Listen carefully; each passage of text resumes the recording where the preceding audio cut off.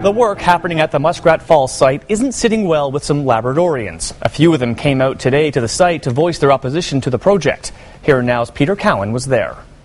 Muskrat Falls is busy right now with construction work, but that work has also brought out protesters.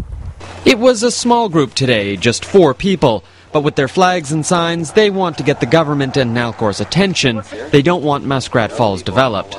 To me, it's blatant disrespect and disregard. I don't know how much louder Labrador could have said at those environmental assessment panel discussions. We don't want this. There's other ways for us to develop and grow, and we don't have to destroy our land or waters to do that. Stop Nalcor! These protesters say the destruction has already begun. Work is happening on the south side of the river to build an access road, and part of this popular walking trail was clear cut to build a power line to the site. To walk down through that trail, the trail doesn't look like our trail anymore, so they've already started the clear cutting. So we need, I'm here to make this stop.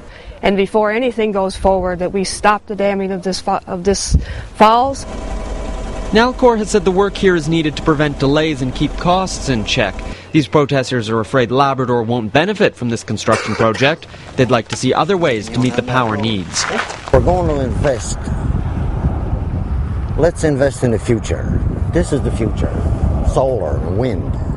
Everywhere you look around the planet, Germany, all those countries, they're doing amazing things with solar.